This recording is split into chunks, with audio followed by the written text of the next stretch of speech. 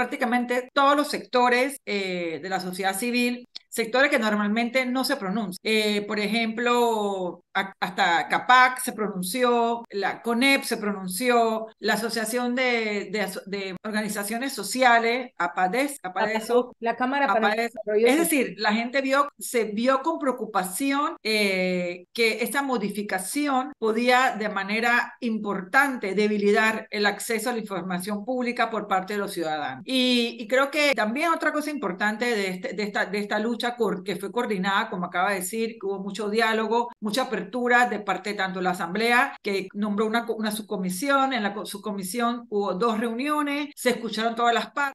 Hola, muy buenos días, Guillermo. Muy buenos días a todos. Bienvenidos a este espacio de responsabilidad social aquí en La Mañana con. Y hoy nos acompaña Julia de Santix, abogada política. Y yo siempre la presento sobre los diversos sombreros que tiene, pero hoy en calidad de presidenta de la Comisión Jurídica de APEDE, de la Asociación Panameña de Ejecutivos de Empresas y queremos hablar de el desenlace, de lo que ha sido el desenlace de la retirada de ese proyecto de ley 1031 que modificaba o que derogaba más bien la ley de transparencia, que es la ley 6 vigente en el país. Muy buenos días, Julia, bienvenida y gracias por acompañarnos.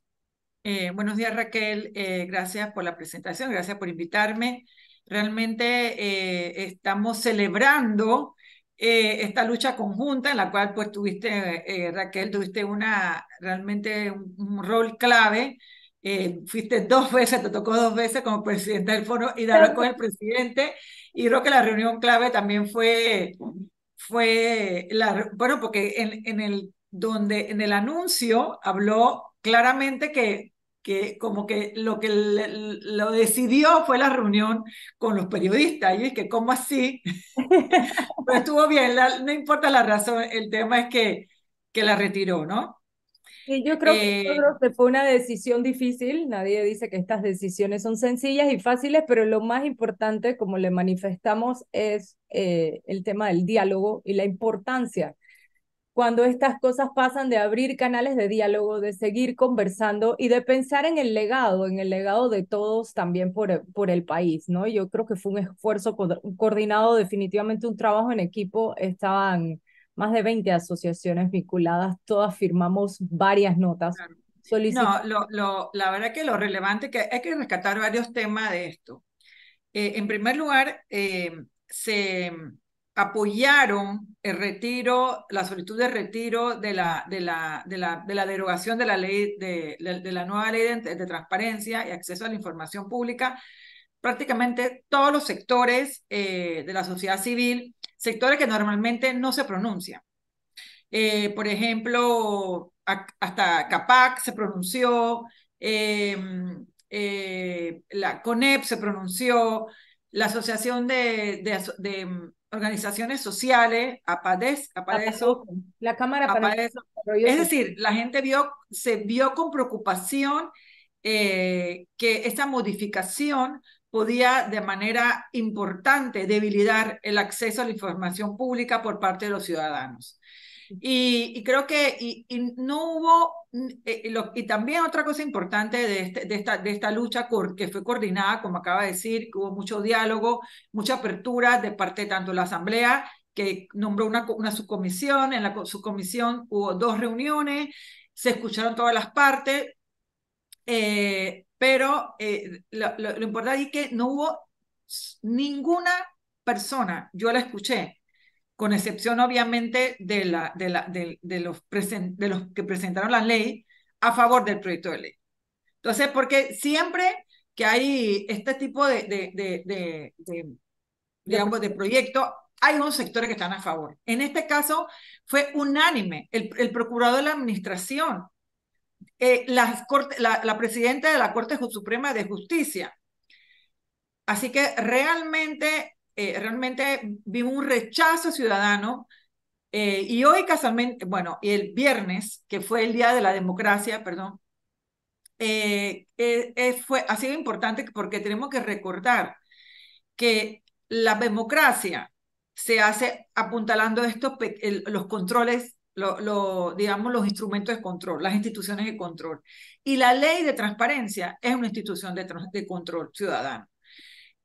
porque lo que hemos visto en los últimos tiempos, lo debo decir lamentablemente, es una pequeña deconstrucción de la, de la democracia en Panamá a través de pequeñas leyes que van debilitando la democracia en nuestro país y el Estado democrático. Así que realmente eso era, una, eso era un elemento adicional en ese debilitamiento del Estado de Derecho y de la democracia en Panamá. Sí, al, al final muchos se deben estar preguntando, bueno, si las asociaciones realmente pudieron lograr el objetivo que se propusieron, ¿por qué seguimos hablando del tema hoy? Bueno, seguimos hablando del tema hoy porque también el viernes 15 de septiembre es el Día Internacional de la Democracia en el mundo, eh, dispuesto por las Naciones Unidas, y yo creo que esto es uno de los íconos de la democracia, es el tema de libertad de expresión y de transparencia, ¿no? Siempre decimos que los medios de comunicación son la conciencia crítica de la sociedad, pero son los que nos recuerdan de manera permanente que si no hay libertad de expresión, no hay democracia.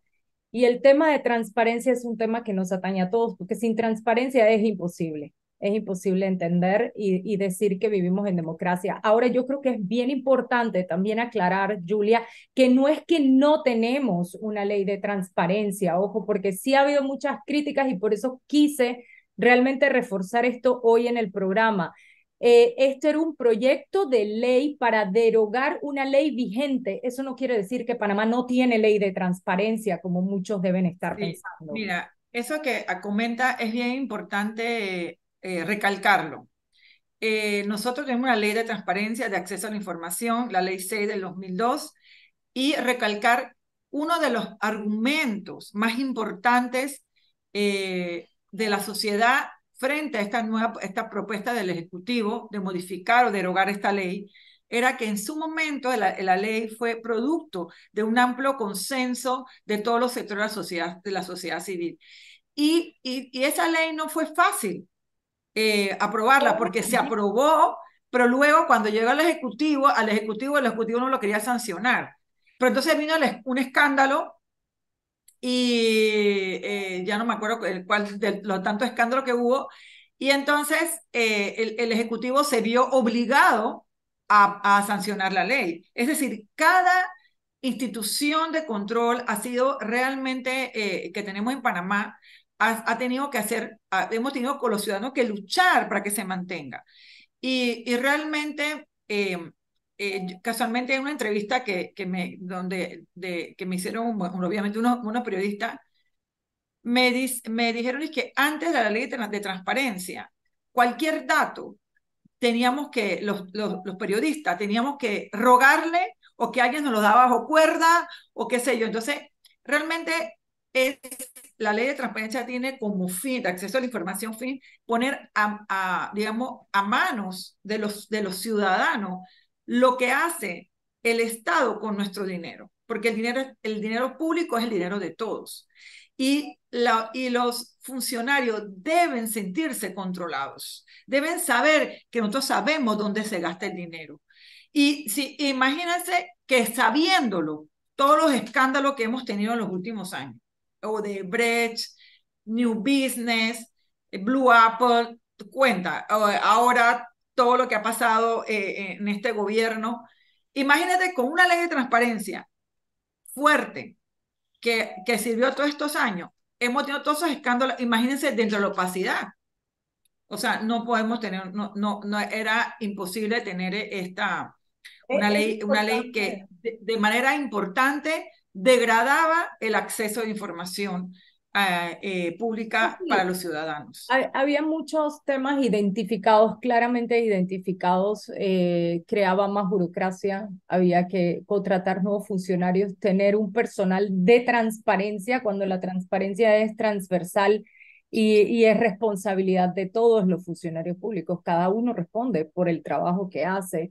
Eh, había una serie de temas que se habían identificado, pero siempre nos mantuvimos en que en realidad la ley que tenemos es una ley que nos ha funcionado, que nos ha servido hasta el momento, que tal vez sí, siempre hay oportunidades de mejora y las necesita, pero el día que se decida ir más allá, lo que habría es que convocar a una consulta ciudadana y una consulta de todas estas organizaciones que en este momento, por los motivos que identificamos, nos opusimos a que eso se siguiera discutiendo en la Asamblea como se dice coloquialmente, deprisa y corriendo porque había que hacerlo todo rápido. O sea, ¿por qué? Yo creo que es un tema que sí merece una discusión permanente y sí merece que se abran los espacios de diálogo correspondientes para ver cómo se puede mejorar, pero hay distintos puntos de vista y todos los puntos de vista estar ahí, ¿no?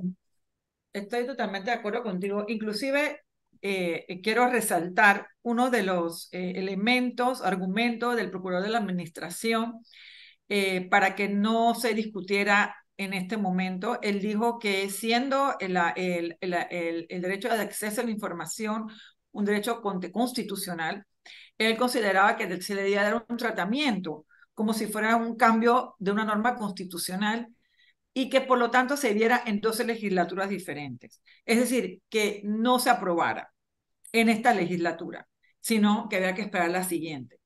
Eh, y yo creo que y, también hay un tema de legitimidad. Realmente eh, la gente no, no confiaba, que, porque no confiaba que efectivamente la eh, este proyecto de ley mejorara la ley anterior.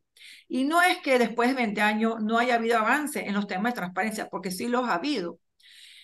Sin embargo, lo que la gente sentía era como que se iba a abrir la oportunidad para en realidad no mejorar, sino desmejorar. De hecho, había una primera parte de la norma que era interesante, que, que, que, que eh, de manera clara hablaba de, sujetos obligados, hablaba de, de transparencia activa, eh, ampliando la información obligatoria que debe estar a, disposición de, la, de, los, eh, de los ciudadanos, pero luego, pero luego la parte de, de del eh, el, ¿cómo se llama? El, enforcement, ¿cómo se llama? El de, el de, el de, las sanciones y el procedimiento. La, la sanción, el, o sea, el procedimiento de decir, cuando no me cumplen, ¿qué hago?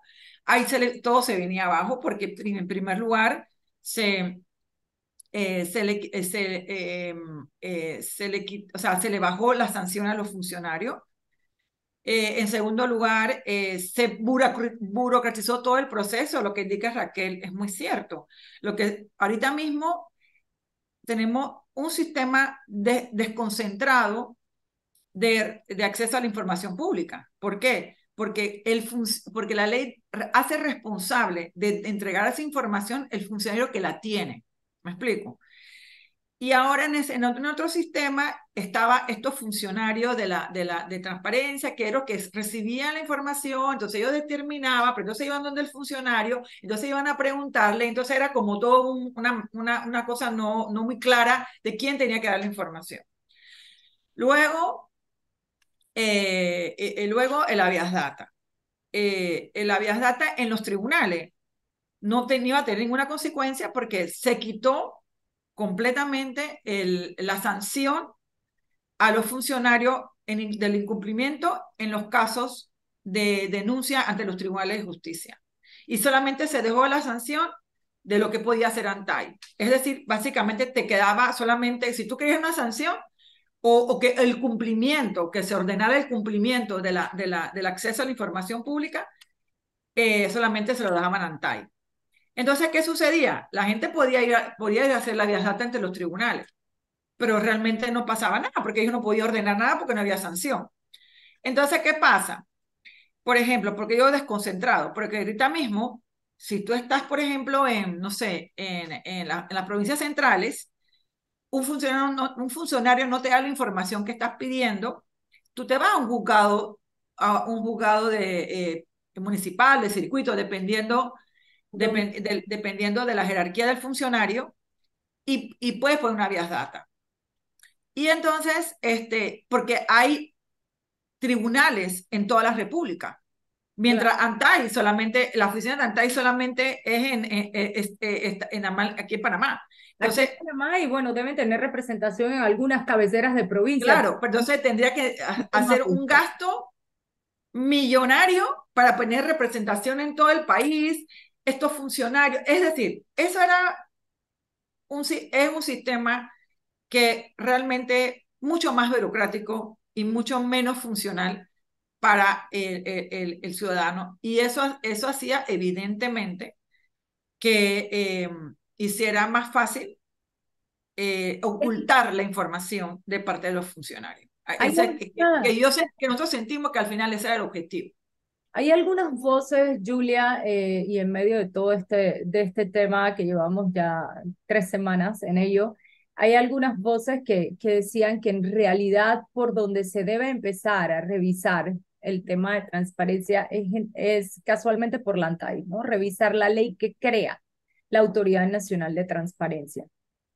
Total, o sea, totalmente de acuerdo. El problema es que a la ANTAI le han dado una función, por ejemplo, le ha dado unas funciones de que es la, eh, es la que tiene que velar por el tema de la, de, la protección de datos. Pero al mismo tiempo, la protección de datos es, si se pone a ver, es un tema de privacidad, de no, no opacidad en un sentido negativo, sino opacidad en cuanto a protección. Y por otro lado, es la que guarda y vela porque los funcionarios eh, eh, eh, eh por, porque los funcionarios o el Estado sea transparente, vela por la transparencia del Estado.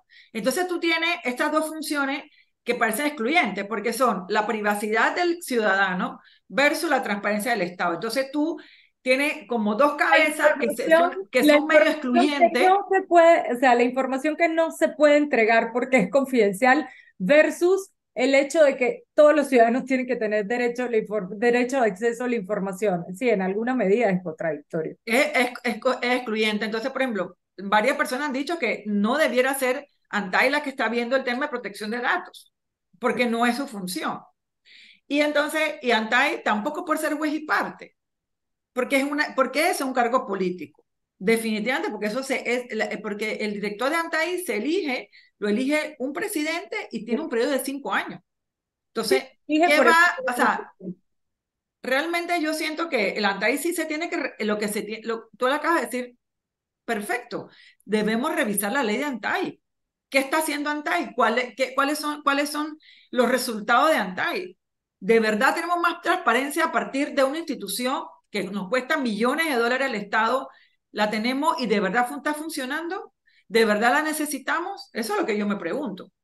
¿Me explico? Entonces, es, ahí son temas que nosotros hemos visto que, al contrario, eh, lo que hemos visto y que tú misma me has dicho, que le ha puesto un montón de multas a, lo, a, lo, a los medios. Entonces se ha vuelto un medio de persecución, una institución de persecución a la libertad de expresión.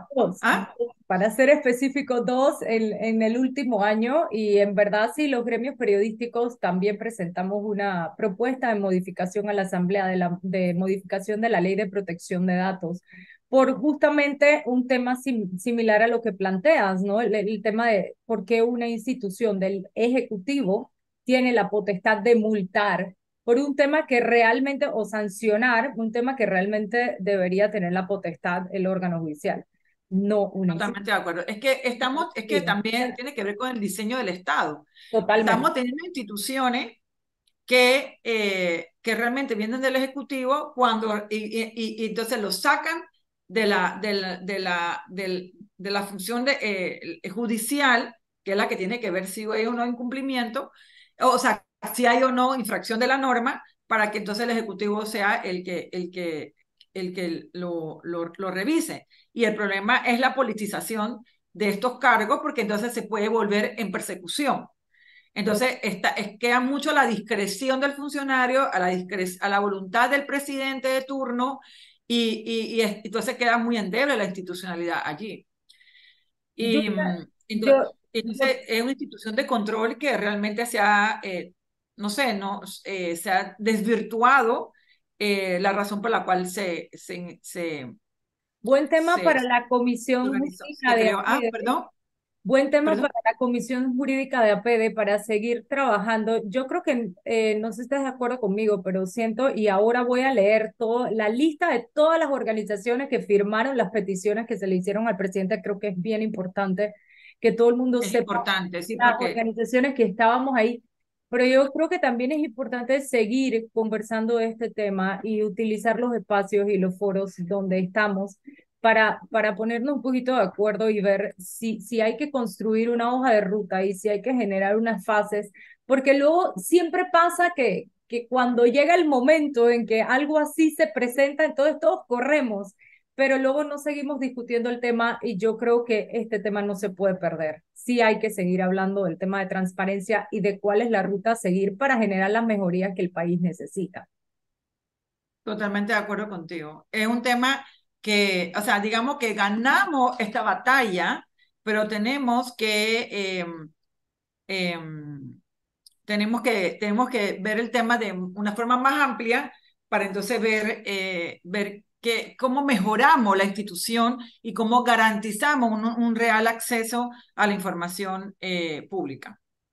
Eso es importante. Voy a leer la lista de organizaciones y ciudadanos que se adhirieron a esta petición. Alianza Ciudadana Pro Justicia, Asociación de Periodistas de Chiriquí, Asociación Panameña de Ejecutivos de Empresa, Asociación Panameña de Radiodifusión, Cámara de Comercio, Industrias y Agricultura de Panamá, Cámara de Comercio, Industrias y Agricultura de Colón, Cámara Panameña de Desarrollo Social, Cámara Panameña de la Construcción, Centro de Incidencia Ambiental de Panamá, Centro de Iniciativas Democráticas, Civitas Panamá, Colegio Nacional de Periodistas, Comisión Nacional Pro Valores Cívicos y Morales de Panamá, Consejos de Expresidentes de Gremios de Panamá con Expa, Consejo Nacional de Periodismo, CNP, Fórum de Periodistas por las Libertades de Expresión e Información, Fundación Espacio Cívico, Fundación Libertad, Fundación para el Desarrollo de la Libertad Ciudadana, Capítulo Panameño de Transparencia Internacional, Fundación Primer Mundo,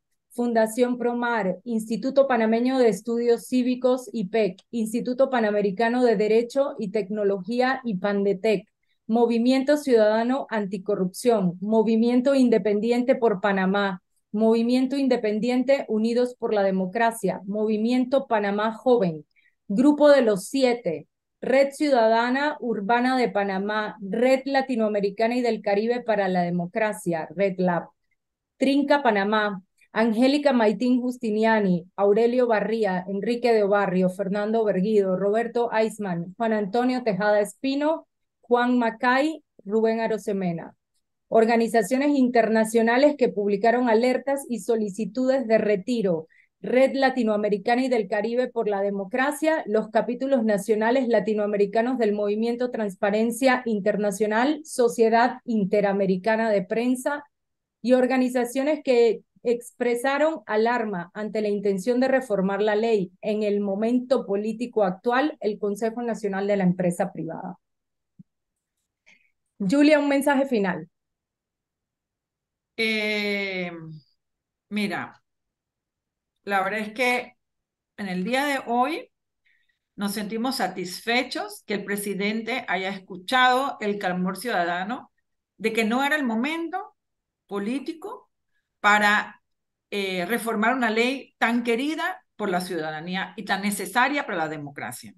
Celebramos esto, pero debemos seguir en la lucha para fortalecer la democracia y las instituciones democráticas.